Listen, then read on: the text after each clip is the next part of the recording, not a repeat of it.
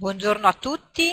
Mentre entrate in aula eh, vi do il benvenuto a questo che è l'ultimo appuntamento del ciclo di webinar organizzati dall'azione social del progetto Riformattiva. Come sì, ecco, grazie, mi state dando un riscontro, mi, se, mi vedete, mi sentite correttamente. Ben trovati e buongiorno. E, mh, mm, dicevo, questo è l'ultimo uh, dei nove appuntamenti che abbiamo realizzato nell'ambito di questa azione di riforma attiva che era finalizzata a rafforzare le competenze uh, sull'uso dei social da parte della pubblica amministrazione. Come sapete abbiamo avuto degli incontri uh, che hanno riguardato tematiche trasversali, aspetti giuridici, poi abbiamo avuto specifici, specifici, approfondimenti um, rispetto all'utilizzo di particolari piattaforme, abbiamo parlato di Twitter, di Instagram, di LinkedIn, ehm, eh, di Facebook ovviamente. E adesso ritorniamo e concludiamo questo percorso eh, con un webinar dedicato alla trasparenza, a una trasparenza che oltre ad essere eh, un prezioso strumento diciamo, di prevenzione della corruzione, però è anche una leva di partecipazione e mh, quindi eh, questo webinar eh, punterà proprio a mh, diciamo, analizzare anche della trasparenza l'importanza dal punto di vista comunicativo. Per questo diciamo, il docente eh, che eh, tra poco ehm, vi farà lezione insomma, su questa questa tematica eh, farà un excursus diciamo, eh, normativo, ma si soffermerà moltissimo sull'importanza della trasparenza, dell'uso dei social e della comunicazione per a fini di trasparenza. Ehm, quindi io vi ricordo, prima di dare la parola a Sergio Talamo, che eh, oltre a essere docente, docente di comunicazione e eh, direttore della comunicazione di Forma SPA, è anche coordinatore del gruppo di lavoro per la riforma della comunicazione pubblica e social media policy nazionale, che è un gruppo di lavoro eh, voluto dal ministro Fabiano Dadone che eh, si è insediato presso il Dipartimento della Funzione Pubblica e che ha portato eh, diciamo anche a, alla presentazione di un documento di indirizzo per la riforma della eh, legge 150 che al momento sta lavorando invece eh, sulla tematica della social media policy, quindi sulla necessità di dare delle linee di indirizzo che rendano, standardizzino un po' ehm, la gestione dei social da parte della pubblica amministrazione italiana. Allora, fatta questa premessa e dopo aver ricordato che potete in chat porre domande al relatore che poi risponderà verso la conclusione del webinar, ehm, eh, lascio la parola a Sergio Talamo e vi auguro un buon webinar.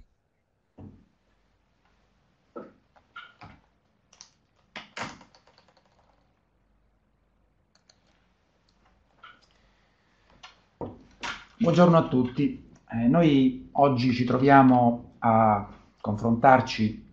su un tema eh, che è diventato centrale nella, nell'amministrazione italiana, eh, ma di, di, fatto proseguiamo un percorso che è cominciato molti anni fa. Ricordo eh, un incontro, un convegno che venne organizzato dall'Associazione della Comunicazione Pubblica dell'amico Piercarlo Sommo nel 2013, eh, che si chiamava Sotto la trasparenza niente. Con questa frase una delle associazioni della comunicazione voleva mettere in evidenza che si rischiava, ed eravamo praticamente agli albori del percorso della trasparenza eh, legislativamente riconosciuta dal decreto 33 del 2013, c'era il rischio di finire in una sorta di eh, terra di nessuno, eh, di, una, di norme sancite ma non vissute, non applicate, che non riuscivano a trasformare una eh, prescrizione normativa in un diritto. E da quel percorso noi mh, venimmo fuori con l'idea di creare un gruppo di, di, di, di pressione, chiamiamola così, che chiamiamo della trasparenza comunicativa, un tavolo sulla trasparenza comunicativa, cioè la, la trasparenza che diventa un pezzo della comunicazione pubblica, perché in effetti non è, non è altro che una declinazione della necessità di un dialogo con il cittadino, intu- intuendo già nel 2013-2014 che il rischio era esattamente il contrario, cioè che la trasparenza venisse attratta in un'altra sfera dell'ambito amministrativo, che è quello giuridico-legale, che è una sfera chiaramente fondamentale per uno Stato, per uno stato di diritto, eh, però nello stesso tempo non è l'unico. Eh, e quindi in pratica noi oggi viviamo l'esito di quella attrazione fatale. A proposito di sotto la trasparenza niente, attrazione fatale, sono due richiami cinematografici a due film. e in effetti penso che stiano proprio bene insieme. Siamo arrivati alla trazione fatale per cui l'amministrazione in pratica gestisce la trasparenza es- esclusivamente come una funzione eh, giuridica legata all'anticorruzione. Da questo nasce il rischio che eh, la, l'età della trasparenza totale, perché nel frattempo lo vedremo adesso in questo nostro percorso, è intervenuta la, eh, il decreto 97-2016 che ha istituito eh, il, eh, il FOIA italiano, il cosiddetto FOIA italiano, ecco, il rischio è che questo tipo di, eh, di svolta eh, resti ancora a, a, lungo esclusivamente come un fatto formale, non percepito, non incisivo nella vita pubblica. E per questo eh, abbiamo mh, nel frattempo il Formez ha sviluppato un lavoro molto intenso sull'uso dei social media nella pubblica amministrazione con delle pubblicazioni che già c'erano state prima del 2013 con un, con un manuale d'uso del 2012, quindi in sostanza anche anticipando quella che sarebbe stata l'esplosione di questi nuovi mezzi di comunicazione. Poi nel 2017 e nel 2018 abbiamo prodotto degli ebook eh, liberamente scaricabili dal, dal web mh, che, si, che, si, chiamano manuale eh, social media API istruzioni per l'uso. Adesso con il gruppo di lavoro cui accennava Roberta, nel 2021 eh, puntiamo ad un documento di indirizzo sull'uso dei social media e ad una pubblicazione ampia che possa fare da punto di riferimento per tutti i colleghi, perché nel frattempo è cambiato tutto un'altra volta, in pochi anni siamo arrivati ad un uso mm, estremamente diffuso del, dei social e di tutte le altre, le altre, nel 2013 non si poteva pensare a delle app, a delle chat, dei chatbot, ai podcast, a tutto quello che si riesce a realizzare in termini anche abbastanza consueti. Vi dico soltanto che oggi, anche soltanto con queste piattaforme su cui oggi tutti, tutti noi ci eh, muoviamo nel gestire gli incontri, eh, noi sia, arriviamo anche ad una diffusione. Ieri avevamo, abbiamo fatto un incontro eh, sulla, eh, sulla, che si chiama la PA portata di smartphone, sulla comunicazione social abbiamo avuto 500, 5500 visualizzazioni, quindi contatti che mai sarebbero stati pensabili per gli incontri in presenza. In questa nuova dimensione abbiamo sviluppato uno studio attento sull'uso dei social media come veicolo di sunlight. Sunlight è una parola che nel diritto anglosassone indica appunto eh, la capacità di accendere la luce sull'attività pubblica. La trasparenza è il modo di accendere la luce sull'attività pubblica. E quindi la prima questione è questa, io qui in queste mie, mie slide vi sono dei richiami ipertestuali che poi volendo potrete utilizzare se volete approfondire, non lo facciamo in questa sede per non allungare e complicare troppo l'incontro che è molto breve. Eh, noi, ecco, questo è il meccanismo che attualmente noi, da cui noi partiamo, questo dovrebbe essere eh, l'effetto Sunlight, l'idea della trasparenza come servizio pubblico. Ognuno di voi può giudicare anche all'interno della sua amministrazione quanto questo sia effettivo e quanto questo invece sia eh, un anelito che resta sulla carta. L'articolo 10, comma 9 del decreto 33-2013, confermato dal 97-2016, dice che la trasparenza va intesa come una dimensione principale ai fini della determinazione degli standard di qualità dei servizi pubblici da adottare con le carte dei servizi. Quindi è un richiamo alla trasparenza intesa non al, come wireismo, ma alla trasparenza intesa come controllo di qualità sui servizi. A questo è la finalità che cerchiamo di riportare dentro, dentro eh, un circuito virtuoso nell'attività pubblica. vedete, sul sito foia.gov.it, a cui, noi, a cui farò spesso riferimento perché è un repertorio molto, molto utile ben gestito dal Dipartimento della Funzione Pubblica, vi sono, ehm, insieme tante, alla normativa, alle sentenze, a tante informazioni, vi, anche, vi è anche il, eh, un riferimento, una verifica dei benefici in termini di interesse pubblico alla conoscenza che si ottengono con la scienza, il test dell'interesse pubblico che usa questi tre criteri. Guardate come sono ben centrati, anche su questo vi invito a fare un confronto sull'effettiva eh, vita, sulla vita materiale, non sulla, sugli aspetti formali, sulla vita materiale della trasparenza nella vostra amministrazione nell'ambito pubblico. Una migliore comprensione del dibattito pubblico e delle scelte, cioè la trasparenza serve a capire cosa le amministrazioni stanno facendo e perché, una maggiore partecipazione alla formazione della decisione e alla vita politica amministrativa, quindi un aspetto partecipazione, e con valorizzazione del controllo diffuso a fini di responsabilizzazione, quindi accountability, degli apparati pubblici. Quindi, a proposito di Sunlight, aspettate un secondo che accendo una luce con la sensazione che vi sia un po' di...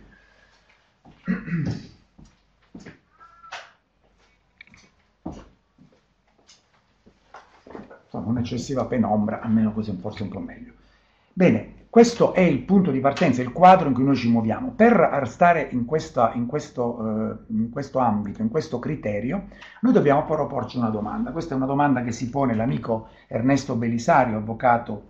esperto di, di, di nuove tecnologie, di diritti, di trasparenza, che si chiede,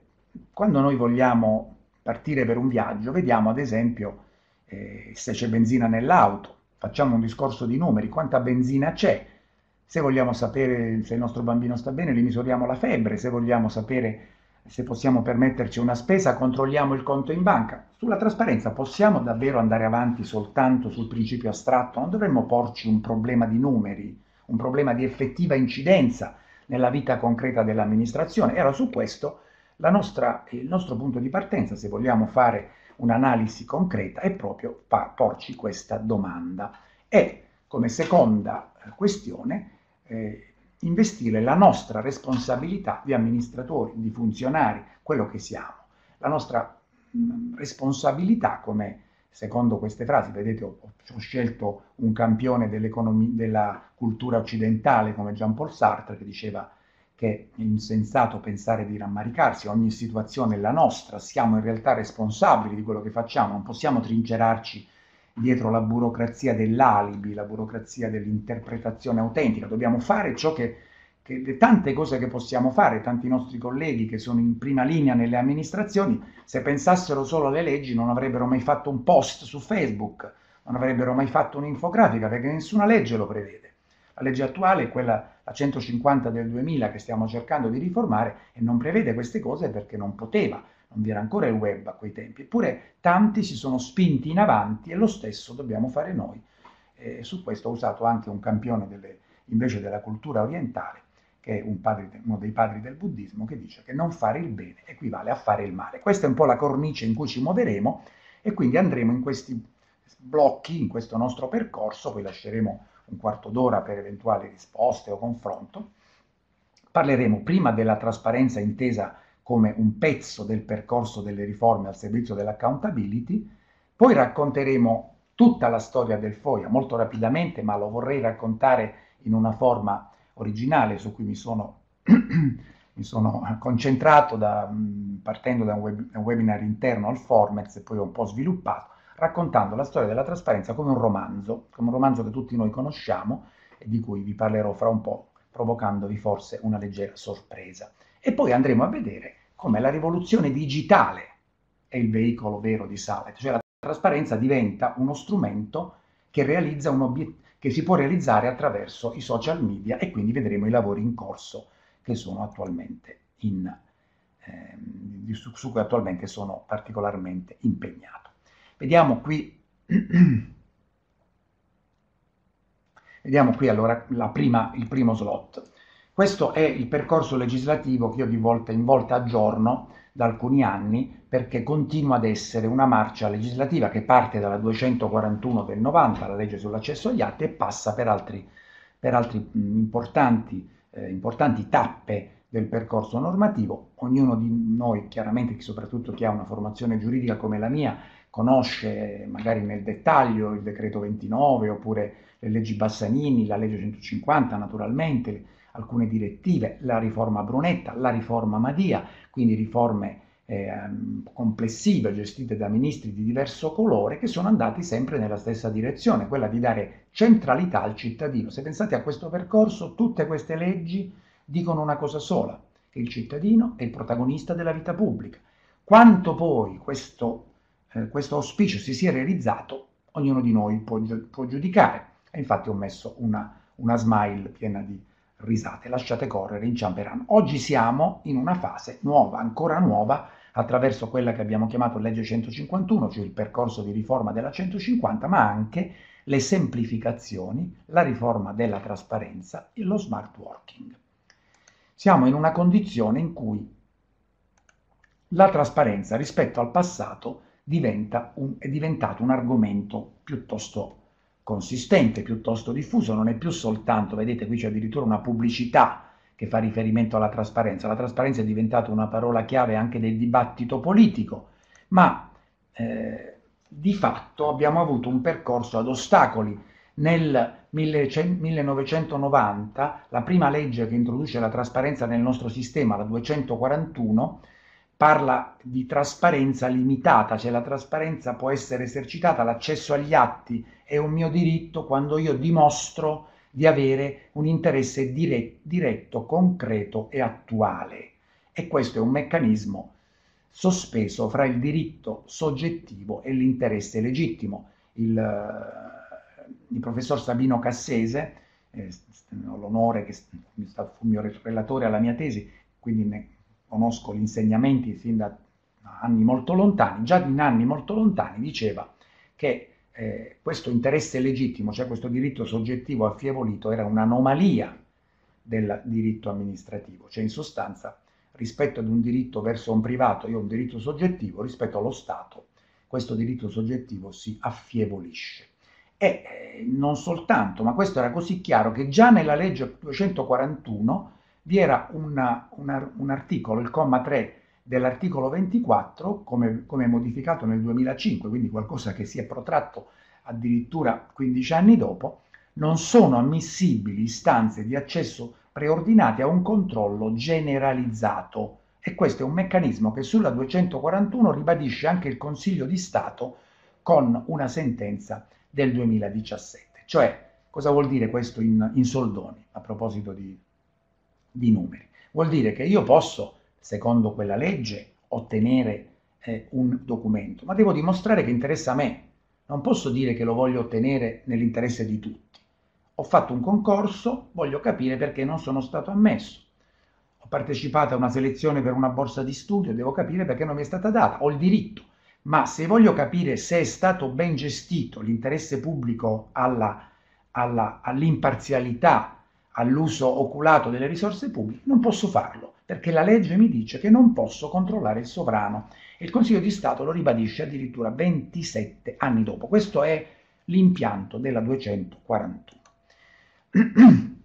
Non solo, ma il problema era ostacolato dal fatto che nel 2000 eh, la, la, la, la, comunicazione pubblica, secondo quello che dice proprio la legge 150, è finalizzata a illustrare le leggi ai cittadini. Oggi diremmo che la comunicazione serve a illustrare le leggi ai cittadini, non lo direbbe nessuno, perché è qualcosa di completamente anacronistico, ma la legge attuale dice proprio questo. Nel decreto 33 per esempio, lo vedremo tra breve quando affronteremo il romanzo del Foia, piovono centinaia di adempimenti dall'alto, con nessuna verifica e nessuna comunicazione. Le chiamerei le carte dei non servizi, perché alla fine eh, il decreto 33 impone molti adempimenti, introduce le sezioni amministrazione e trasparenza nei siti, fa fare un piccolo passo avanti, ma in pratica non crea un cambio vero di cultura. Col decreto 97 invece arriviamo alla trasparenza totale, cioè io posso chiedere qualsiasi documento,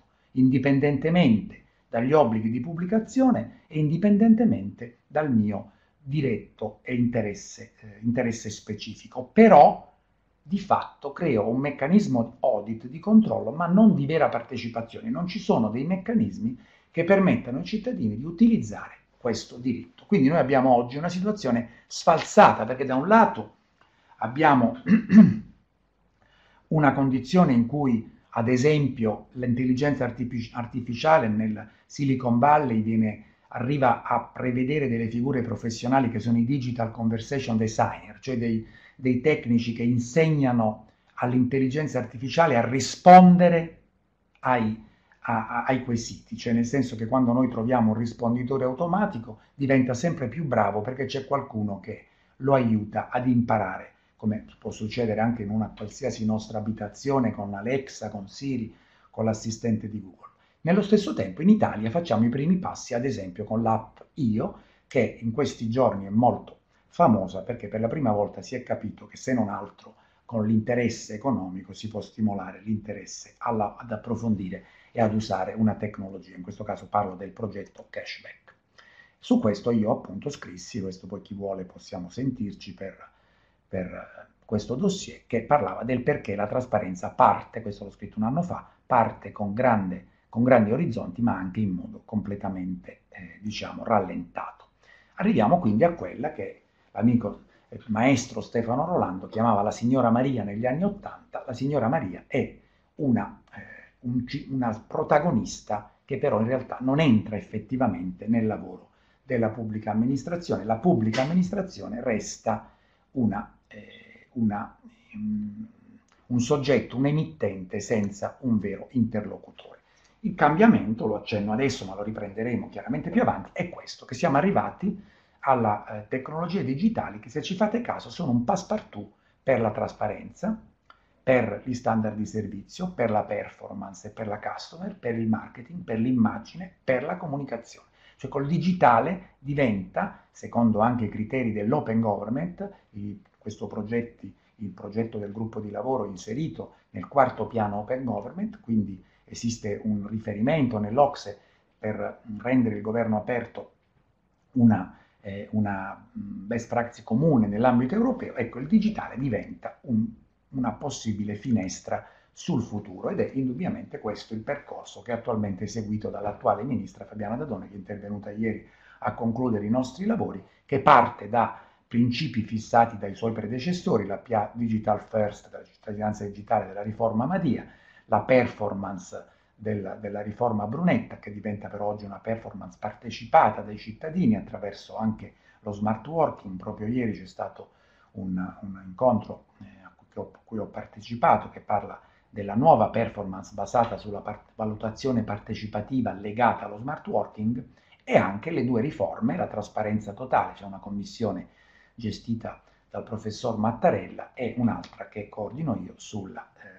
sulla riforma di queste due leggi. Vedete qui sono delle frasi che hanno un'importanza notevole, però su questo parto da un criterio, eh, il forum della PA ha eh, riferito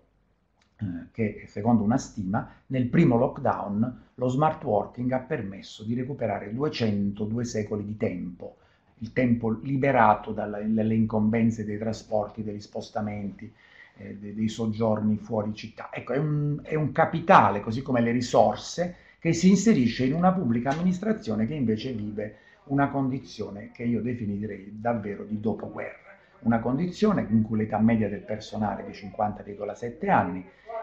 il 16,9 dei dipendenti è over 60, mentre il, eh, il 45 è over 54, solo meno del 3% sono sotto i 30 e guardate gli altri dati sulla, sulla formazione che permette oggi un, un giornata, una giornata media di formazione all'anno, in 10 anni 2012 eh, 212.000 persone in meno e guardate un po' i dati che raccontano assolutamente una condizione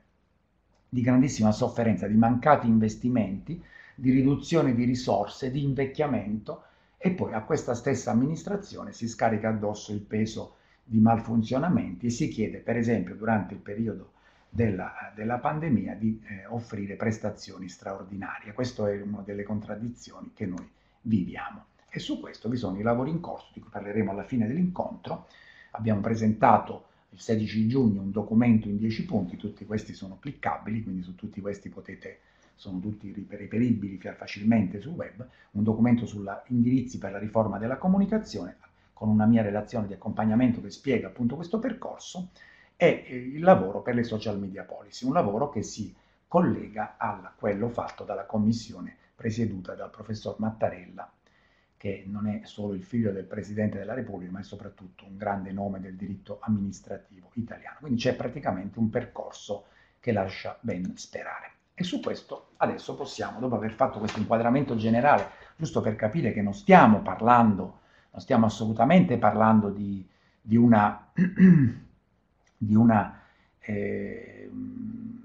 di, un, di un argomento settoriale, stiamo parlando di qualcosa che è al centro delle policy di riforma del Paese. raccontiamo adesso che come, come funziona il foglio. Poi siamo in una platea composta in gran parte di comunicatori, qualcuno probabilmente eh, non ha una conoscenza approfondita di questa, di questa, materia e quindi io la, la voglio raccontare in una maniera che potrebbe essere compresa da tutti, ma anche dai nostri figli o dai nostri genitori, perché tutti conoscono i promessi sposi. Questo è il romanzo in cui, ecco perché il titolo di questo webinar, questo matrimonio sa da fare. Oggi il FOIA prevede un accesso non più limitato dall'interesse soggettivo, specifico e diretto della 241, né dagli atti su cui c'è obbligo di pubblicazione, come nell'articolo 5 del 33. Questa è oggi la condizione della trasparenza, che però ha una storia che voglio raccontare come un romanzo. Vedo che ci sono problemi di audio, non so se, se per tutti, spero che eh, i nostri tecnici possano risolverli. Ecco il romanzo del foglio italiano, parte così, e quindi mi affianco in piccolo, molto in piccolo, vedete, affianco all'autore del romanzo originale. Vediamo un attimo questo dramma, è un dramma che prevede veramente un cast stellare, abbiamo la trasparenza totale nel ruolo di Lucia, quindi in sostanza l'oggetto del desiderio, della brama amorosa, di Renzo Tramaglino che è il cittadino, perché il cittadino italiano è comunque da sempre in marcia verso questo ruolo questa possibilità di unirsi alla trasparenza. Ma c'è, una, c'è chi mette i bastoni fra le ruote, la burocrazia difensiva, ma anche il linguaggio che la pubblica amministrazione aiuta, eh, adotta, e anche tutti i cavigli legislativi. Don Rodrigo, Lazzecca Garbugli e l'innominato hanno un ruolo molto forte all'interno di questo romanzo. E poi però c'è anche la possibilità di prendere queste norme e restringerne la, la, la, loro, la loro ampiezza, è un'altra forma che interviene quando le cose si mettono bene, in questo caso abbiamo la eh, Gertrude, la monaca di Monza, e poi però esiste anche un esercito della salvezza, la società civile nel ruolo di Agnese, il Consiglio di Stato vi sorprenderà, ma più volte è intervenuto nel ruolo di Fra Cristoforo, e poi però torniamo a questa oscillazione, il legislatore eh, va avanti e indietro, diventa una sorta di Don Abbondio,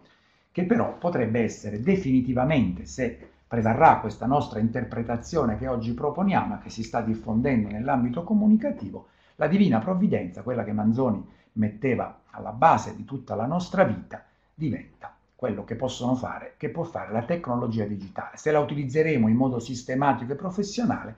con, con i giornalisti e i comunicatori non più eh, imbalsamati nel ruolo dei capponi di Renzo, cioè i capponi che destinati entrambi alla pentola si beccano senza rendersi conto del loro destino, ecco, noi potremo arrivare ad, una, ad un esito favorevole, ad un esito positivo, riuscendo anche ad aggirare i bravi di Don Rodrigo nell'ambito, nel ruolo eh, cioè, eh, che interpretano il Covid-19. Questo naturalmente è un percorso che potrà sembrarvi estremamente suggestivo, ma sicuramente avrete bisogno di qualche spiegazione, ma adesso le seguiremo. Sta, possiamo stare, possiamo stare eh, tranquilli che eh, il, il, percorso ehm,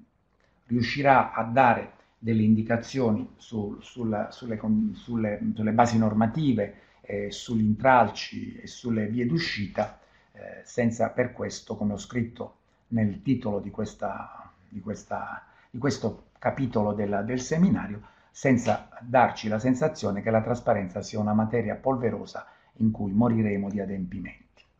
Il romanzo comincia nel 1908, quel ramo del lago di Como c'è in realtà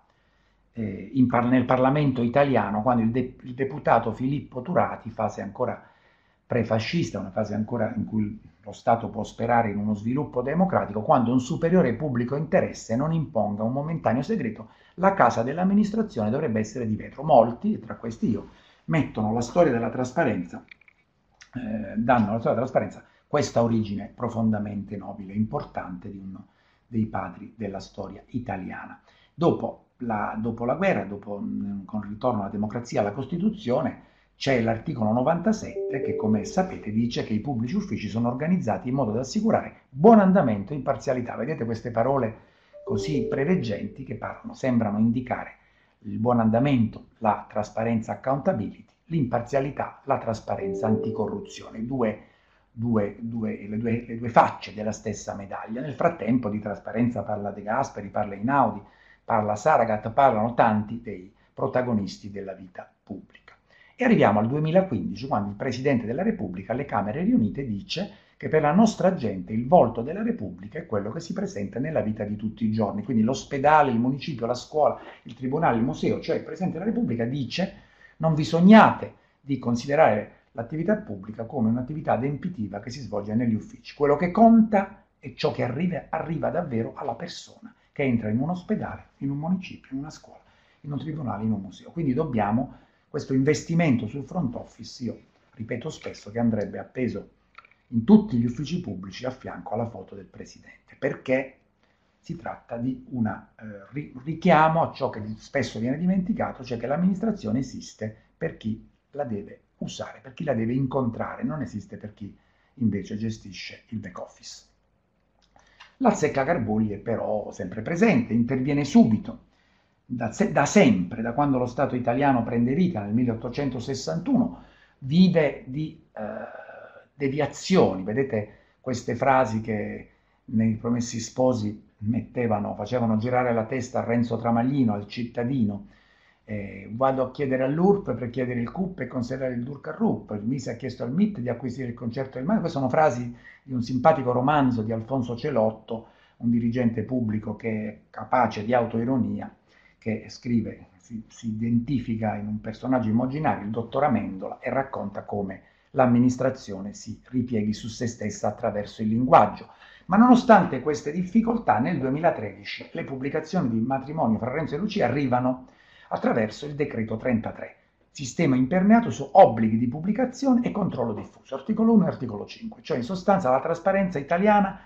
viene, eh, siamo governo, governo tecnico, ministro Filippo Patroni Griffi, L'anno prima c'è stata la famosa 190 sull'anticorruzione, arriva una sorta di trasparenza molto condizionata dal clima di quegli anni, un clima molto teso nel paese, e dice in sostanza le amministrazioni devono pubblicare un certo numero di atti. Servo, eh, i cittadini possono chiedere di pubblicare gli atti che non vedono pubblicati. Gli adempimenti sono un numero che venne contato 271 e si creò quella che ho definito la mistica del sito perfetto, cioè il problema, il problema è eh, la, la eh, necessità di rendere il proprio sito completo a, dal punto di vista degli adempimenti. Questo è l'impatto che ha, perciò parlammo, dicemmo subito sotto la trasparenza niente insieme ad altri colleghi. Nel 2013 l'articolo 1 non prevede la promozione della partecipazione, punto molto importante perché la svolta del 97 del decreto 97 2016, tre anni dopo, cambia le carte in tavola anche per chi fa comunicazione.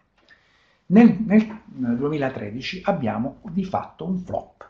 Il ministro Brunetta aveva lanciato la trasparenza sia per controllare gli abusi, ma anche per fare controllo civico. Di fatto vi è una, eh, una riduzione del ruolo della trasparenza, una minimizzazione che viene trasformata dal clima di quegli anni, dal rilievo mediatico legato alla 190-2012, in una forma di wireismo. Devo andare a capire quanto guadagna Tizio, devo andare a capire chi sono i consulenti di Caio, tutte cose importanti perché è naturale che il controllo serve, ma naturalmente la trasparenza intesa in questo modo diventa veramente uno spiare dal buco della serratura. Il wireismo sostituisce l'accountability, eppure i cittadini in una interessante inchiesta realizzata nel Forum PIA del 2014, vedono in gran parte, vedete, almeno quasi la metà spera che, pensa che la trasparenza possa essere legata alla performance più che al voyeurismo. Ma non accade questo, accade che il responsabile trasparenza, guardate i compiti che aveva a quei tempi, eh, controlli adempimento, vedete le cose che deve fare. Nelle cose che deve fare, la cosa fondamentale, soprattutto la seconda, dovrebbe assicurare la completezza, la chiarezza e l'aggiornamento delle informazioni, ma sostanzialmente di tutti questi compiti c'è un compito fondamentale che manca. E se voi ci pensate un attimo, adesso che ve lo rivelerò, eh, direte era evidente. Cosa manca? Uno deve fare trasparenza, deve controllare l'adempimento, assicurare la competenza, segnalare i casi, aggiornare il programma, addirittura assicurare la loro attuazione responsabile di danno d'immagine dell'ente, ma manca la cosa principale, capire se questa cosa serve a qualcuno, capire se qualcuno usa la trasparenza, capire come fare a far sapere che c'è questo nuovo diritto. Questo non è neanche previsto, figuriamoci se è fatto. E infatti nessuno si occupa di questo. La mistica del sito perfetto porta a concentrarsi sulla bussola verde, un software che la funzione pubblica mette a disposizione per capire se il tuo sito è in ordine. A questo punto noi abbiamo una sorta di bussola verde che si basa sul fatto che tu hai i cassetti con i titoli in ordine, cioè amministrazione trasparente, organigramma, eh, appalti, ciò in ordine i titoli dei cassetti, la bussola diventa verde. Se il cittadino è interessato, se percepisce l'utilità, se usa questo strumento, non interessa a nessuno. Da questo noi continuammo perciò a lavorare sulla trasparenza comunicativa, cioè una trasparenza che serve all'accountability e allo, alla verifica degli standard di servizio mod- a un modello open che oltretutto si estende ben oltre gli obblighi di pubblicazione. Su questo io feci con un collega, con il collega eh, Marco Barbieri, che era allora eh, capo dell'ufficio stampa dell'Inps, eh, lavorammo su una pubblicazione che diceva queste cose. Arriviamo quindi alla normativa della trasparenza, 271 adempimenti, li contò il presidente della Civit, che poi diventò ANAC, Antonio Martone. E lui disse, noi con 271 adempimenti non è che possiamo star dietro a tutti, ne controlliamo un centinaio. Alla fine arrivarono a controllarne una ventina per dire com'è assurdo. E qui c'è una cosa divertente che cito, tanto non posso approfondire, ma c'è addirittura, qualcuno di voi lo ricorderà, fra gli adempimenti vi era anche addirittura quello di pubblicare le attestazioni, le dichiarazioni dei redditi concernenti diritti reali su beni immobili, eccetera, eccetera, eh, eh, limitatamente al soggetto, al coniuge non separato e ai parenti entro il secondo grado. Cioè in sostanza io dovevo pubblicare tutti i miei redditi, ma non solo i redditi, pure tutti i diritti reali, ma anche per il mio coniuge non separato, quindi l'unica salvezza era separarsi, che già ci mancava solo questo, l'incentivo alla separazione ulteriore oltre a quelli che già ci sono, ai parenti entro il secondo, non so se mi separo non pago l'IMO e non ho manco bisogno di pubblicare i miei redditi e ai parenti entro il secondo grado, ove gli stessi vi consentano. Ecco, la Presidente che sostituì Martone alla Civit scrisse espressamente il coniuge non presta il consenso. Arrivavamo a questo paradosso che è veramente simpatico della burocrazia italiana, per cui si chiedeva una cosa talmente impossibile, talmente assurda, che neanche il Presidente della Civit alla fine l'ha eh, realizzata. Questo punto entrò in campo la società civile, la Agnese, nella funzione della società civile e Fra Cristoforo che arriva ad aiutare Lucia come eh, nella sua funzione di Consiglio di Stato. Come mai direte? E questo lo vediamo subito. Si comincia a creare un percorso partecipato che viene gestito da eh, associazioni della società civile e dicono, che dicono noi dobbiamo riformare questa trasparenza monca. Dobbiamo parlare di silenzio rifiuto, cioè non è possibile che l'amministrazione possa rispondere col rifiuto senza motivare, non deve avere costi per il cittadino, non vi deve essere per il cittadino la necessità di specificare chiaramente i documenti oggetto di accesso, perché se no la trasparenza a volte si usa proprio perché non so quali sono i documenti che voglio, chiedo capire se ci sono. Le eccezioni non possono essere generiche ma catalogate per tutelare il diritto di accesso il rifiuto deve essere sempre motivato, devo poter ricorrere non solo al TAR per motivi di costi. E sia l'ANAC sia il Consiglio di Stato fra Cristoforo dicono la trasparenza serve alla partecipazione. Per gestire la trasparenza serve un help desk unico, perché l'help desk unico è l'unica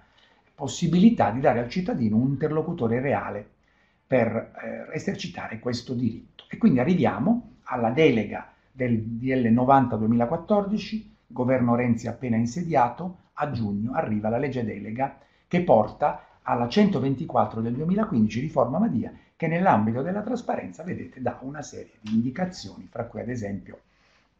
la riduzione degli oneri, eh, eh la, la, la, valutazione dei risultati, ad esempio fasi dei procedimenti di, aggiudic di aggiudicazione e esecuzione degli appalti pubblici, tempo medio di attesa eh, e per le prestazioni sanitarie, quindi diciamo che si tratta di una serie di, di questioni eh, centrali dell'accountability. Quindi c'è una delega interessante che viene gestita anche da, dall'attività di associazioni della società civile e si arriva al decreto 97 che viene chiamato accesso civico generalizzato. L'articolo 5,2 è il punto chiave della nuova amministrazione pubblica italiana. L'articolo 5,2 del decreto 97 dice che il cittadino può ricevere qualsiasi documento eh, o atto o informazione non più limitata né all'interesse soggettivo della 241 né agli atti su cui c'è obbligo del decreto 33. E la trasparenza diventa la normalità, principio del controllo diffuso che diventa a sua volta l'architrave del sistema, eh, le eccezioni sono espressamente elencate nelle guida, guida ANAC garante privacy, quindi sono pubblicate già nel dicembre del 2016, vengono pubblicate le eccezioni catalogate, il cittadino deve ricevere una risposta entro 30 giorni, che diventano 40 in eh, caso di controinteressati, con un provvedimento espresso e motivato. Il rifiuto deve essere sempre motivato e legato a un pregiudizio concreto, non astratto. Non posso dire non ti do questo documento perché teoricamente può provocarmi poi dei problemi. No, devo dire qual è il pregiudizio concreto. Se c'è un rifiuto posso ricorrere al TAR, ma anche al responsabile trasparenza o al difensore civico lì dove ci sia. L'accesso civico è gratuito, sa- gratuito salvo i costi materiali di riproduzione degli atti. Ed è un ambito di applicazione amplissimo, vedete come veramente va oltre eh, l'ente pubblico in senso stretto. Nel frattempo passiamo, come nome non è un grande salto di qualità, ma anzi se vogliamo è una resa alla, all'idea appunto un po' poliziesca della trasparenza, per cui dalla Commissione per la valutazione, la trasparenza e l'integrità si passa all'autorità nazionale anticorruzione. Però bisogna dire che l'ANAC in effetti pro- ribadisce che non, l'obiettivo della trasparenza non è l'anticorruzione, ma è la partecipazione, la trasparenza accountability, cita addirittura la trasparenza come garanzia delle libertà, il Trattato di Lisbona e poi conclude con questa frase molto importante. Come previsto nella 190, il principio della trasparenza è, costituisce inoltre misura fondamentale per le azioni di, pre- di prevenzione e contrasto dell'anticorruzione. Nella vita concreta dell'amministrazione non è andata così. Il punto fondamentale è stato quello, l'attrazione fatale è stato sull'anticorruzione. Sembra che l'amministrazione sia una sorta di banda di malfattori che ha come unico obiettivo quello di essere controllata o di autocontrollarsi, perché l'obiettivo è quello di impedire abusi. Non è che gli abusi non esistano, non è che la necessità di controllare non sia importante, ma naturalmente l'obiettivo della trasparenza nell'impostazione eh, anche originaria della riforma del decreto eh, 150 del 2009 era quella di creare un controllo sulla qualità del servizio, fatto in modo partecipato con il cittadino. A questo punto l'uomo non osi separare ciò che il foglio è unito, c'è stato questo matrimonio, piano eh, triennale prevenzione, corruzione e trasparenza va fatto entro il 31 gennaio la sezione trasparenza deve essere chiaramente identificabile, deve essere un atto organizzativo fondamentale con soggetti che diventano responsabili delle varie fasi della pubblicazione. C'è quindi una sorta di idea molto pressante, molto cogente riguardo all'organizzazione della pianificazione. E vi deve essere un legame organico, questo punto segnatevelo perché ci torneremo, con gli altri strumenti di pianificazione, in particolare con la performance, perché in tante cose dette non hanno poi seguito perché la burocrazia difensiva riesce a creare sempre, o la burocrazia dell'alibi, la burocrazia del rinvio, riesce sempre a creare un ostacolo quando le norme parlano di prestazione giudicata dal cittadino.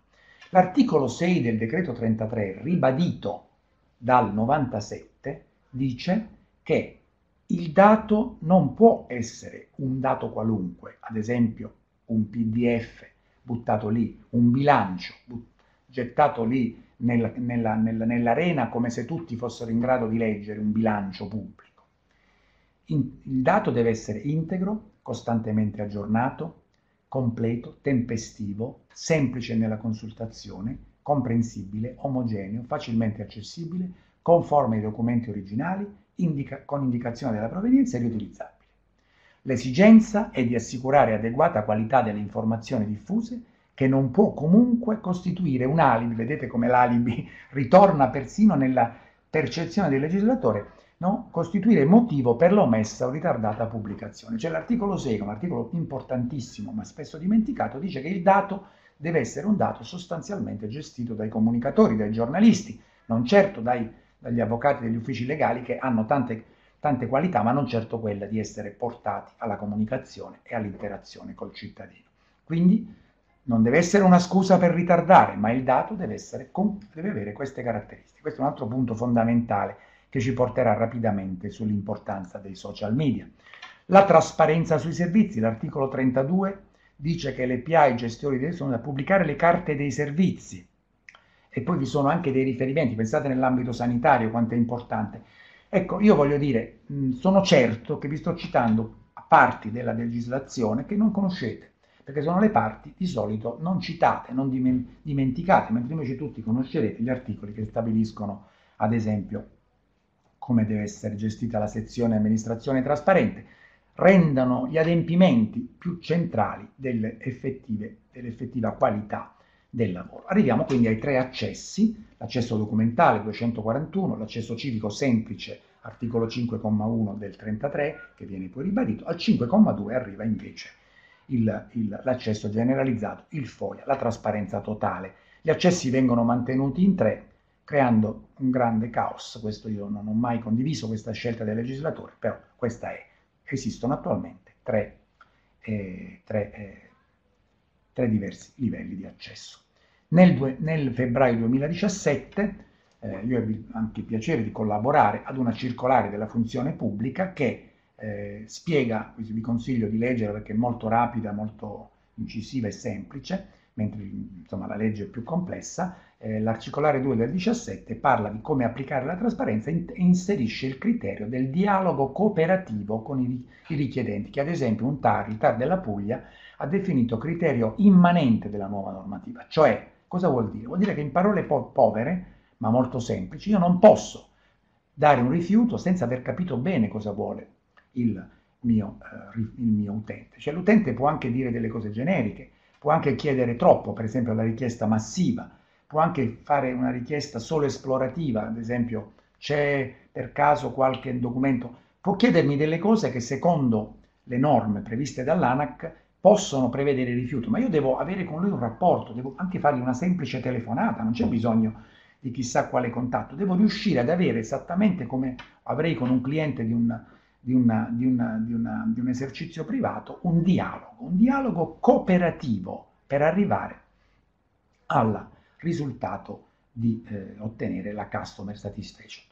e che in ogni caso aiuta anche l'amministrazione. Questo meccanismo è un meccanismo di solito che sembra scontato nell'ambito privato. Se voi chiedete, se voi girate per un negozio, anche solo che guardate una, uno scaffale, arriva qualcuno a chiedervi di cosa, come può aiutarvi, perché l'obiettivo è che voi compriate. Nell'ambito pubblico invece io posso chiedere 10.000 volte, ma sicuramente se, se chi sta dall'altra parte può appellarsi alla, a qualsiasi motivo per non rispondere, non lo farà. Invece questa circolare stabilisce questo criterio che alcuni TAR considerano criterio immanente della nuova normativa. Inoltre, sempre nell'articolo 8 della circolare, si parla di pubblicazione proattiva, cioè le amministrazioni devono cercare di pubblicare prima quello che può servire al cittadino. Se io so che si sta parlando di bonus energetico, faccio un esempio, chiaro che è un interesse di tutti, oppure anche de, del programma cashback, io pubblico quello che penso che al cittadino possa essere utile e devo avere anche un'attenzione particolare ai social watchdogs e ai mass media, quindi in sostanza il criterio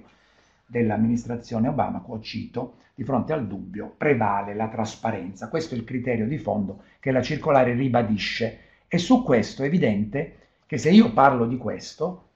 eh, devo poi tener conto che i social media sono fondamentali. Dove andrò a capire cosa vuole il cittadino? Mica lo posso sentire solo al bar, ci sarà un posto dove la domanda arriva, anche la protesta arriva. Ci sarà la possibilità di creare un dialogo che diventa anche via social, anche perché,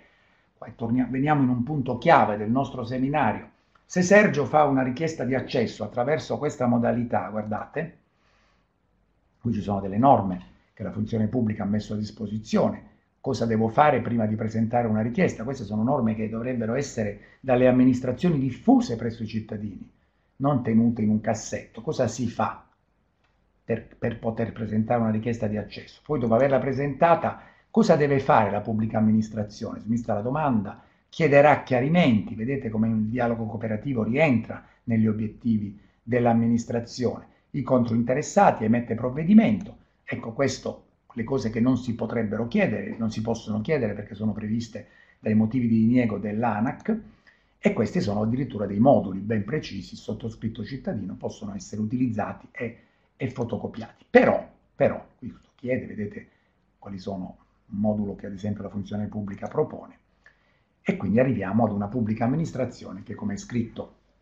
sul sito foia.gov.it la trasparenza è la norma e il segreto l'eccezione. Però naturalmente il concetto è, se io devo fare dialogo cooperativo, come posso capire, come posso rendere, massimizzare l'impatto con la domanda? Se Sergio fa una domanda e riceve una risposta, la riceverà solo lui. Se Sergio fa una domanda su un social o se io scrivo su un social la risposta alla domanda di Sergio, tutti quanti sapranno che cosa si risponde a quel quesito che diventa di fatto una FAQ a cui dai una risposta. Così come dal punto di vista dei social io posso fare la pubblicazione proattiva. Io sui social capirò qual è la domanda e quindi posso pubblicare le cose che so che le persone vogliono sapere. Pensate quanta trasparenza ma anche quanto risparmio di lavoro c'è nell'uso delle tecnologie, come ha detto ieri la Ministra, e attraverso i social che io creo l'interazione, attraverso i social che mi avvicino veramente ai cittadini. Dopo il 97 arrivano i primi scontri, ma anche le prime prove della trasparenza, mappa sulle coperture vaccinali, pensate quanto questo sia stato amaramente, diciamo, premonitore, questo, questo tipo di richiesta, gli obiettori di coscienza, i regali di rappresentanza, le spese di viaggio, e poi le, le condizioni di vita dei detenuti nelle carceri, le unioni civili da parte dell'Arcigay, i finanziamenti, i consultori, vedete vi sono tantissime informazioni di interesse pubblico che vengono ottenute tramite la trasparenza.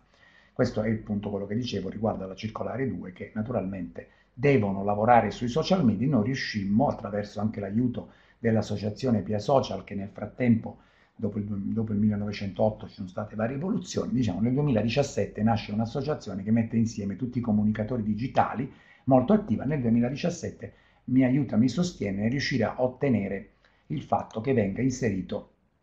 vedete, questo passaggio, per gli stessi motivi. Le pubbliche amministrazioni sono invitate a valorizzare la comunità nei social media, vedete, è opportuno medesimi canali a fini di comunicazione, quindi è scritto, se non in una legge, almeno per ora in una circolare. Questa era la situazione, ma come, sem- come accade in ogni romanzo d'appendice, qua poi parliamo del massimo, della massima espressione della cultura italiana, fatta la legge, trovato un inganno, quindi vedete qui l'innominato, vedete Gertrude con il suo amante Michele, arrivano nella forma del fatto che ad esempio si comincia a scrivere che il responsabile trasparenza deve essere unito a quello anticorruzione, salvo casi motivati, vedete l'effetto attrazione di fatto responsabile anticorruzione e trasparenza, che diventa una funzione aggregata all'anticorruzione. Assenza di sanzioni, se non lo faccio non ho sanzioni. Spariscono dal 97 le obblighi di rilevazione della citizen satisfaction, stiamo provando a reinserirli in termini di comunicazione. Abolita la pubblicazione dei dati sui tempi medi di erogazione dei servizi, insomma meno comunicazione, più burocrazia e anche alcuni TAR cominciano ad adottare la tecnica del cavillo legislativo, cioè l'interpretazione restrittiva. Arriva il Covid e arrivano anche i bravi. La richiesta massiva è la sospensione della trasparenza. Viene sospesa la trasparenza ai casi di indifferibilità e urgenza, che dimostra come nel 2020 abbiamo perso proprio di vista l'importanza della trasparenza e del digitale. Se c'è un momento cui la, cui la, in cui serve la trasparenza è proprio nel momento in cui l'amministrazione è costretta a cambiare modo di lavorare attraverso il lockdown e lo smart working. E se c'è un momento in cui la trasparenza è possibile da realizzare è proprio attraverso il digitale, perché il lavoro diventa molto meno fisico in quanto io devo lavorare esclusivamente su delle banche dati. Eppure c'è questo tipo di pronuncia che viene per fortuna in qualche modo stroncata dall'importante sentenza 10 del 2020 del Consiglio di Stato che vi consiglio di leggere perché dice che vi è un dovere, il Consiglio di Stato è la massima autorità amministrativa, quindi non è, non è più sindacabile o appellabile, il dovere di esaminare l'istanza anche se espressa in modo generico e anche se incerta fra la 241 e il 97. Con questo intervento di Fra Cristoforo, che dice che l'amore è intrepido, il matrimonio potrebbe farsi se noi utilizzeremo il digitale come un elemento che tende la mano addirittura al, mille, al, deputato del 1908 e consente di lavorare con questi dati. Questo è il disco di internet del 2019. Sono dei dati tali che danno un'idea di sviluppo delle interazioni talmente profonda che non è proprio possibile. Il digitale, ieri diceva Francesco Giorgino nel suo intervento, il giornalista e professore Francesco Giorgino, non è una, una, una, tecnica, è una soluzione, è qualcosa che consente di lavorare effettivamente con le persone. E quindi abbiamo una possibilità che amplia completamente nostra, eh, il nostro perimetro di azione e rende possibile quindi, questo è il cuore del nostro discorso che svilupperò adesso nell'ultima parte, che l'accesso generalizzato si realizzi via social, nella sostanza, quindi senza neanche le formalità, senza neanche la domanda in tempo reale, quindi senza neppure 30 giorni che diventano 40, è il ricorso al TAR, e soprattutto erga omnes, cioè do una domanda, a una domanda di Sergio rispondo a tutti. Questa possibilità è già applicata de facto da alcuni colleghi, qui vi sono degli esempi, per esempio nel comune di Napoli, dove ad esempio io chiedo eh, un'informazione, in questo caso sulle graduatorie provvisorie eh, relative, non mi ricordo cos'era, e, e, la risposta del collega che sta in fronte quella che le graduatorie sono pubblicate, vi è anche un link che magari dà un'informazione in più, quindi diventa una, una informazione evolutiva rispetto alla trasparenza, perché se io faccio una domanda di quel tipo via FOIA devo ricevere una risposta su quello. Se io invece faccio una domanda via social ricevo una risposta che mi consente con un semplice link di sapere una novità. Ad esempio, io chiedo perché mio figlio non è stato inserito nella graduatoria degli asili nido e la persona che mi risponde non soltanto mi dà una risposta di trasparenza che vale per tutti. Questi sono stati i criteri, gentile signore, poi mi scrive, però, viste che ci sono state molte domande, è stato aperto, che so, una nuova, una nuova finestra con delle convenzioni, con nuove strutture, io quindi ho un'informazione in tempo reale che magari ho ancora un altro mese di tempo per fare domanda per una graduatoria suppletiva. Le amministrazioni queste cose naturalmente le fanno, pensate in, senso, in tempi di Covid ed è tutta un'emergenza. Eppure noi non utilizziamo in modo ufficiale questi canali straordinari che invece in molti casi i nostri colleghi utilizzano. Quindi arriviamo ad un concetto che a me piace molto,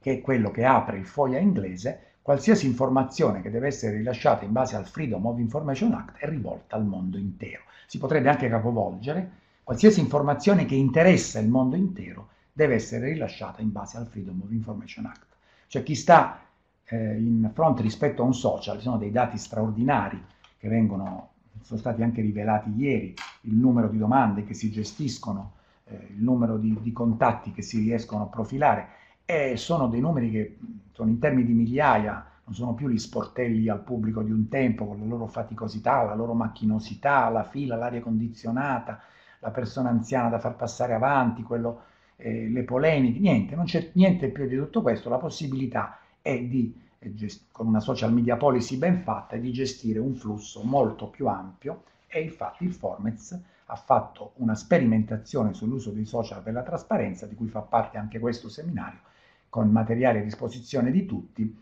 con eh, la regione toscana, il comune di Vicenza e il comune di Mazzara del Vallo come amministrazioni, diciamo, pilota.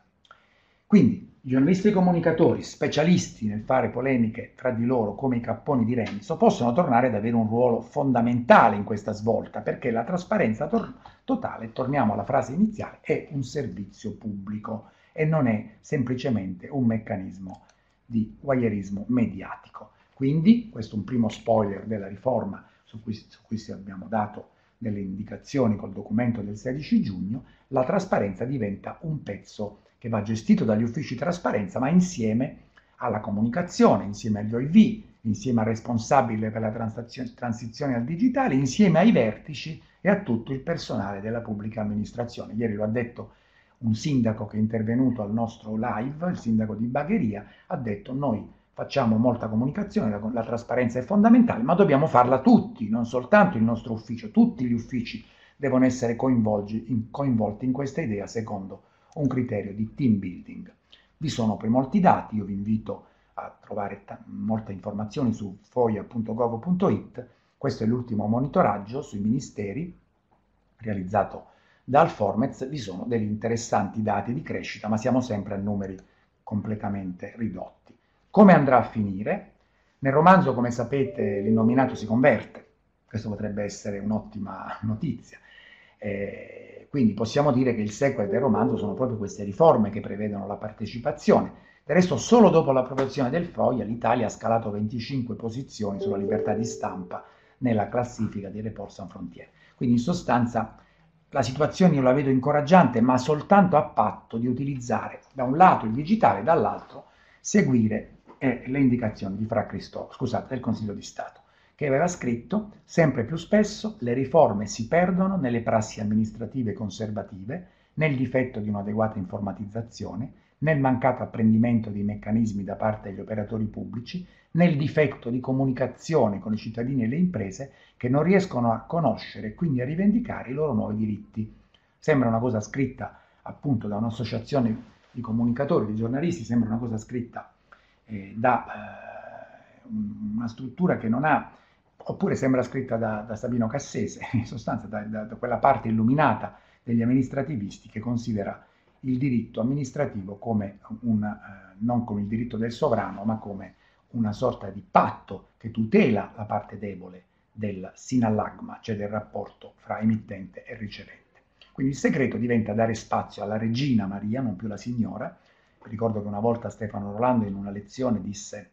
fece questo esempio, come se noi adesso fossimo qui eh, in un laboratorio io dicessi benissimo facciamo delle prove di lavoro in front office, chi si vuole prestare, per esempio la signora, ecco, Giustino Filomena. La signora Giustino Filomena mi, ris- rispose, come mi ris- potrebbe rispondere, come, come rispose una, una, funzionaria a Stefano Rolando, ma guardi che io sono un decimo livello, come per dire, no, per carità, non, non scherziamo, mica posso andare io a rispondere ai cittadini. E Rolando gli rispose, mi scusi, pensavo fosse dirigente, con una frase bruciante che mi colpì sentendo di questo esempio perché indica come in effetti la funzione più importante si dovrebbe essere proprio quella di dare una risposta a un cittadino, non è quello che pensano i nostri amministratori. E vediamo quindi una parte finale a cui dedicherò un quarto d'ora per vedere di parlare anche con qualcuno di voi che ha posto delle domande e, per cercare anche appunto, c'è già l'impegno a non far morire di adempimenti e di noia, c'era alle 12, figuriamo alle 13. Vediamo un attimo quali sono i lavori in corso con questa rivoluzione digitale che può essere davvero veicolo di, di Sunlight. Per esempio, nei, nei piani trasparenza, io di recente ho fatto una lezione in Regione Puglia, vi devo dire che sono scritte cose molto interessanti. Il problema è che non c'è quindi una mancata consapevolezza strategica, c'è una mancata consapevolezza manageriale, cioè la struttura pubblica non riesce a tradurre degli obiettivi. Vedete qui per esempio nel piano Fuglia si prevede una rete dei referenti costituita dai direttori di, di dipartimento della regione che porta a un ruolo di tutti i dipendenti. Quindi vedete lo schema che ho, vi ho fatto vedere, una rete di referenti che è sempre il modo migliore per lavorare. Anche qui noi per la comunicazione la stiamo ricostituendo dopo, dopo vari anni, perché i referenti significa lavoro comune che rompe barriere. E la, la Regione Puglia lo prevede sul piano e sono sicuro che anche molti dei vostri piani i vostri piani prevederanno questo. Ma il problema è realizzarla in pratica e torniamo qui all'anelito di Sartre e del maestro del buddismo. Facciamola, realizziamola, anche se non è prevista formalmente, anche se può avere inizialmente una funzione, chiamiamola, informale. Non trinceriamoci dietro eh, le medaglie da far tintinnare, dietro la formalizzazione. Vinciamo le resistenze, perché naturalmente uno dei delitti di lesa maestà dell'amministrazione è coinvolgere qualcuno in un gruppo senza l'autorizzazione del suo dirigente, ma di fatto con la comunicazione questo diventa più naturale, così come può avvenire per la, per la, per la trasparenza. Quindi arriviamo, per esempio, sempre nel piano Puglia si prevede la spinta alla partecipazione come leva della politica regionale, la tracciabilità di ogni procedimento amministrativo, dando ampio risalto allo strumento degli open data, controllo delle prestazioni, performance della sanità. Eh, mettiamo insieme, ad esempio, i responsabili comuni- nelle regioni i responsabili comunicazione delle strutture sanitarie, perché la loro capacità di fare squadra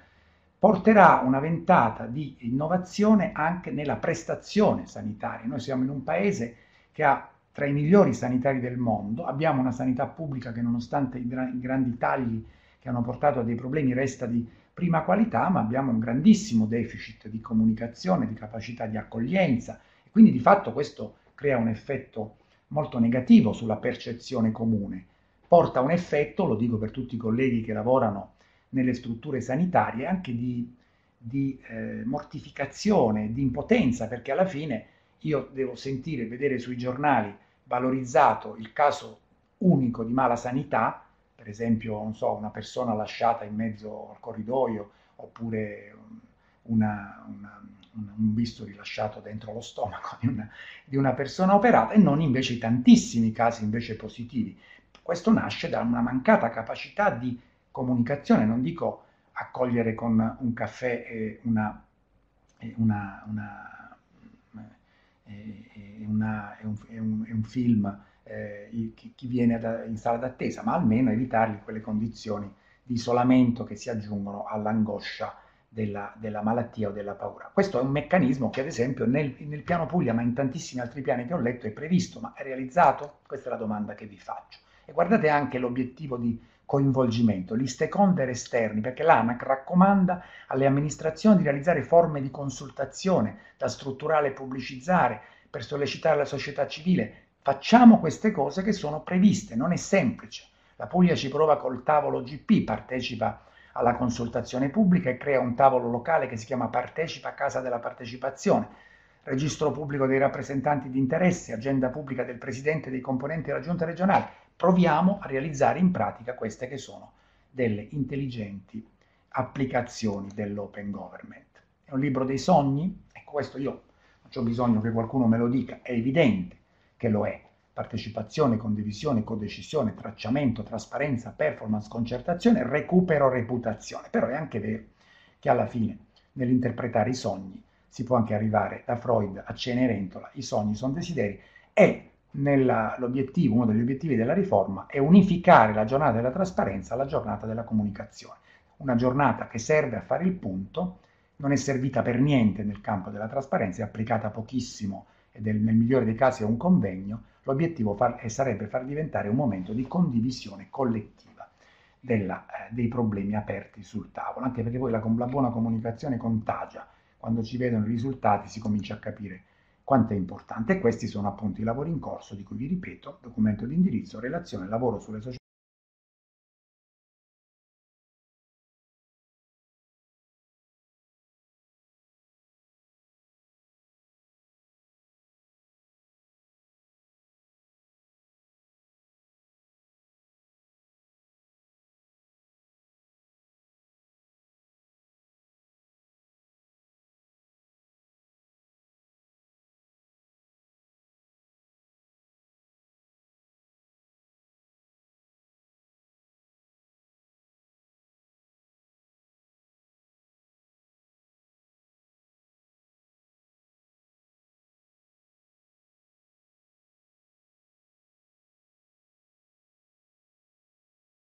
Aspettiamo Talamo, intanto ringrazio tutti i partecipanti a questo ciclo di webinar che è stato seguitissimo, abbiamo avuto oltre 3.800 iscritti sui nove appuntamenti. E mh, contiamo, insomma, speriamo di poter poi con l'anno nuovo poter approfondire diverse tematiche, peraltro abbiamo raccolto diversi spunti, ci sono arrivati delle richieste di approfondimento anche sugli aspetti strategici della comunicazione social, ma anche sugli insight, sugli aspetti normativi, noi abbiamo raccolto diciamo tutti gli spunti che sono venuti eh, da tutti i partecipanti e mm, vi proporremo presto degli approfondimenti. Ecco, rivedo Sergio e gli dirò la parola. Bene, allora andiamo verso la conclusione. Stiamo lavorando eh, per dare proprio delle indicazioni pratiche, concrete nel gestire questa eh, incredibile opportunità eh, a un lavoro che riguarda le social media policy. Social media policy è, è fondamentale, è praticamente il patto con l'utente. Ieri ho avuto un'interessantissima testimonianza dalla regione toscana, abbiamo fatto una social media policy, l'abbiamo poi cambiata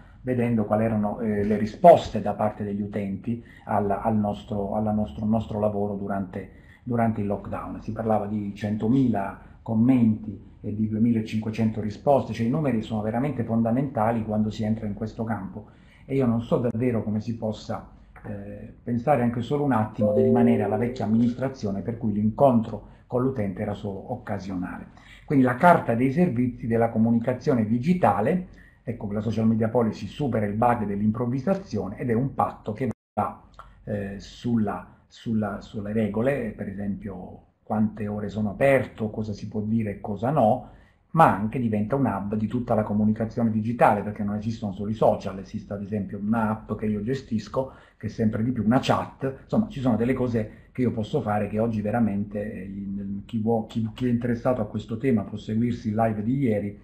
che è già disponibile, anche questa è una novità, tutto, tutto è disponibile on demand, non ci sono più i vecchi convegni in cui si lavorava per due mesi per 50 persone e poi tutto rimaneva lì, salvo la famosa intenzione di pubblicare gli atti, che era una cosa costosissima, inutile. Oggi abbiamo gestito una, una, un incontro con minimo 200-300 persone collegate, in tutto 5.500,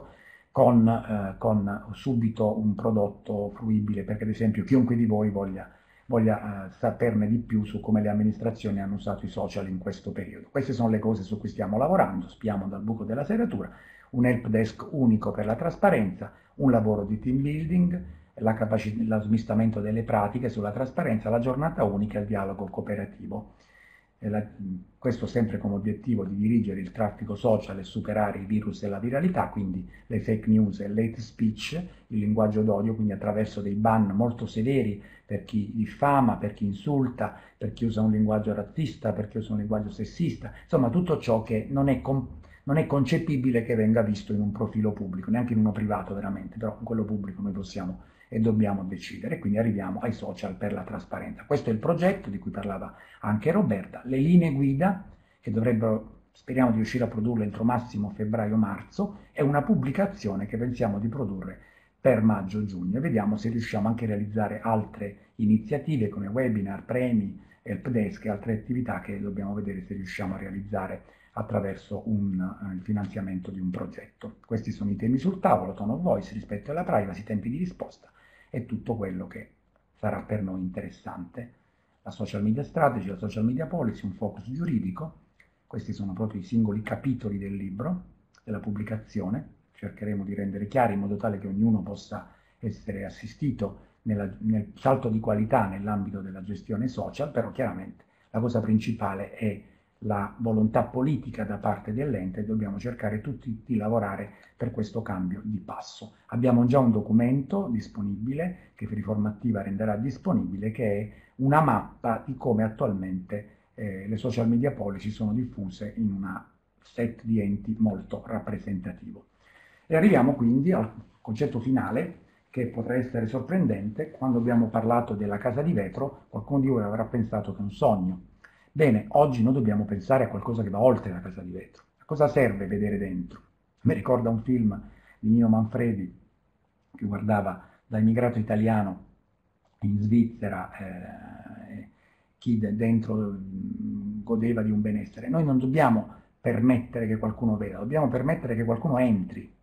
dobbiamo permettere che eh, il cittadino, in forme che possono essere poi gestite, esiste un, un'ampia letteratura sulla partecipazione civica, sulla democrazia deliberativa, su, sui facilitatori che sono dei professionisti dell'incontro, che nell'amministrazione non sono, non, sono, non sono, presenti, ma non sono neanche concepiti, ma un facilitatore è una persona che è in grado di realizzare eh, questo incontro fra il mondo, ciò che c'è all'esterno e ciò che c'è all'interno. Noi dobbiamo creare una rete di referenti che lavori all'interno insieme agli uffici, poi dobbiamo creare un ponte che consenta al chi è all'esterno, che può essere il cittadino di un comune, il paziente di una, di una ASL eh, o il, il, l'imprenditore che si rivolge, so, ad una camera di commercio, che dobbiamo fare in modo che possa essere un interlocutore costante che interviene nelle nostre policy e ci porta, a, porta in sostanza a migliorare la pubblica amministrazione mettendoci il naso dentro. È una cosa che non è normata, non è a volte prevista, ma già a volte avviene. Quando avviene migliora moltissimo le prestazioni pubbliche. Questo è l'evento di ieri di cui vi parlavo, giusto perché voi possiate eventualmente eh, fruirne, la PA portata di smartphone che si è svolto ieri pomeriggio con un racconto di chi è in prima linea e una, una, una profilazione anche tecnica. Questo, guardate, era il programma quindi dopo l'introduzione del portavoce della ministra, il collega Spinnato Vega una mia introduzione, abbiamo avuto prima una tavola rotonda con gli esperti sui temi principali, le fake news, la lingua, eh, le piattaforme, la professionalità, la, la strategia OXE, le regole giuridiche, eh, la trincea comunale che è tra le più importanti perché il comune è l'ente di prossimità, abbiamo avuto delle voci dalla prima linea, vedete da tutta Italia, enti sanitari, enti comuni, regioni, camere di commercio, commissariato Expo, Casa Italia, eh, in sostanza abbiamo avuto ministeri, abbiamo avuto in sostanza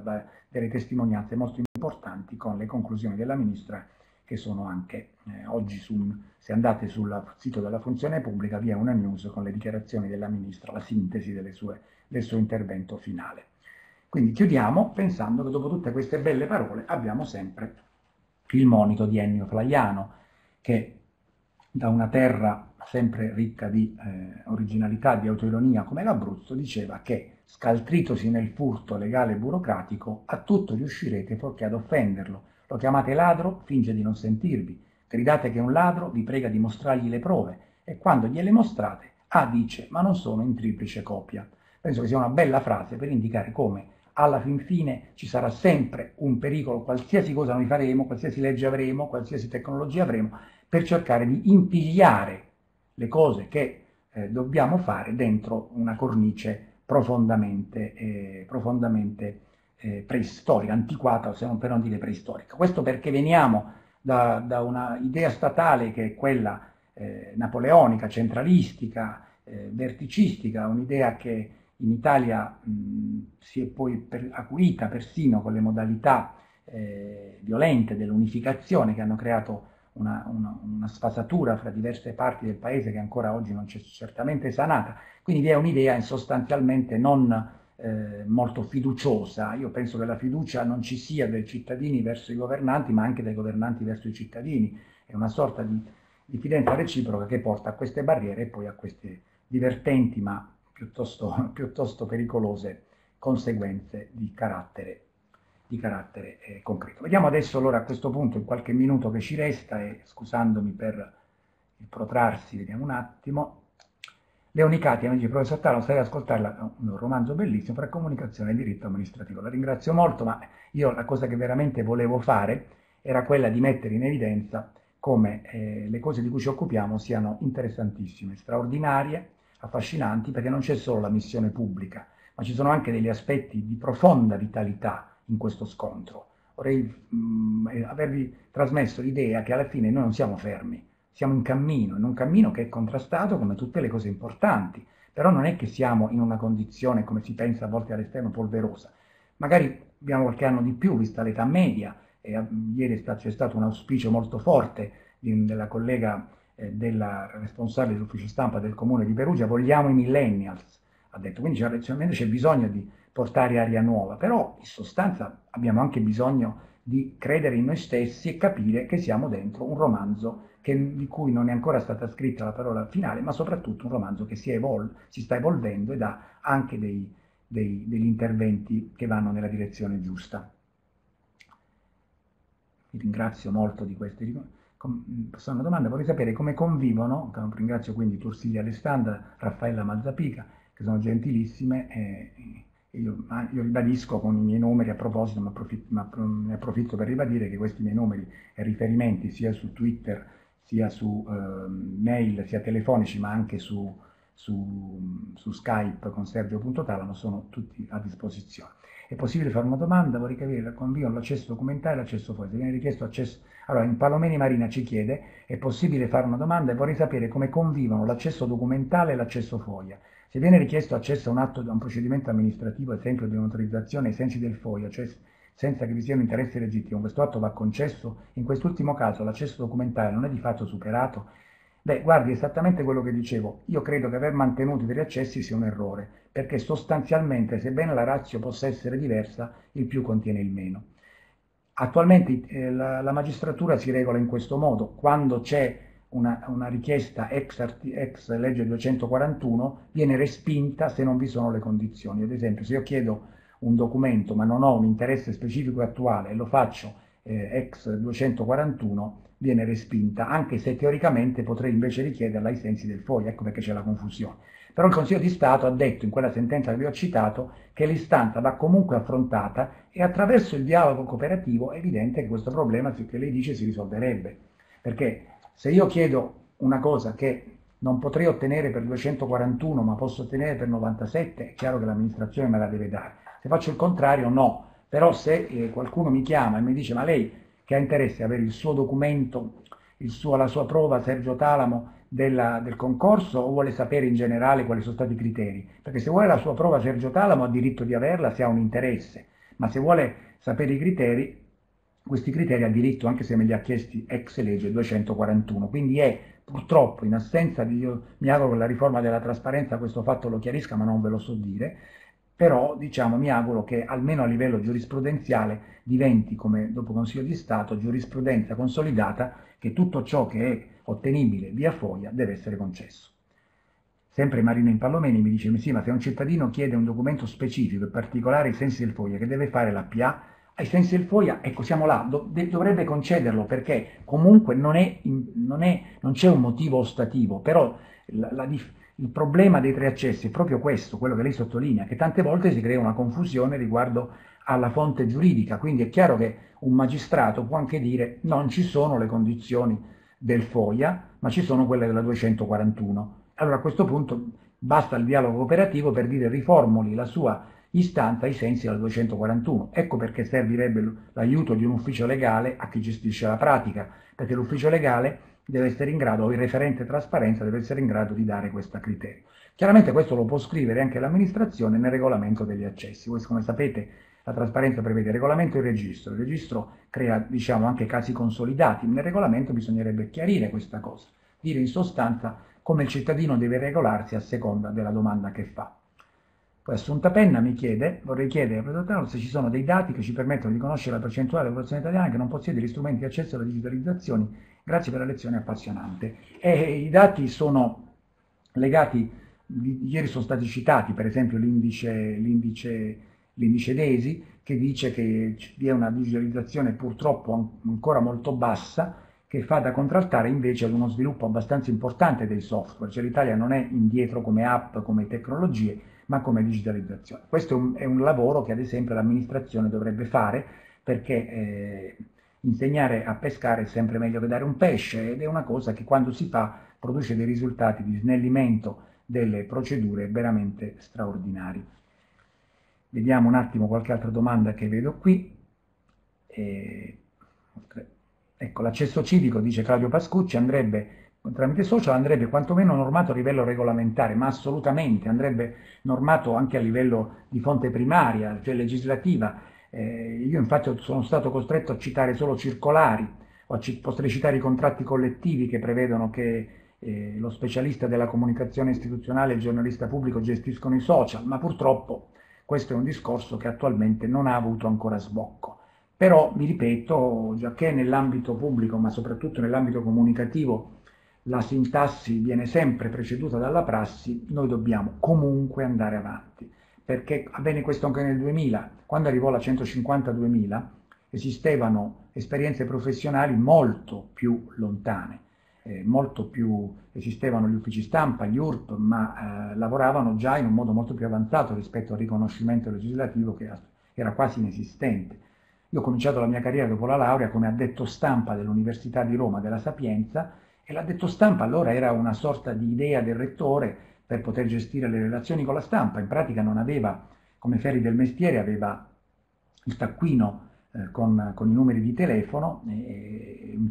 una macchina da scrivere, una bella lampada, tutto il resto era da inventare. Però di fatto questa, questa parola significava capacità relazionale, come ha detto stampa, realizzai insieme ad un giovane professore associato della, della, della, facoltà di sociologia che si chiamava Mario Morcellini, non so chi, se questo nome vi dice qualcosa, ecco, realizzammo la prima pubblicazione della Sapienza, che era un, una cosa che oggi fa, fa, sorridere, quattro pagine, si chiamava La Sapienza Notizie, eh, però l'università non l'aveva fatta mai, eh, aveva solo gli annali, che sono pubblicazioni chiaramente molto più, più ingestate ed ufficiali. Questo La Sapienza Notizie creò una novità nel, nei primi anni 90, perché alla fine c'era una, una, una, novità che venne realizzata da chi aveva uno strumento comunicativo. Quindi ognuno di noi deve assolutamente andare avanti sui suoi percorsi pragmatici, anche se tante volte avrà la sensazione di essere più un volontario che un dipendente, avrà delle ostilità, però esistono anche tantissimi,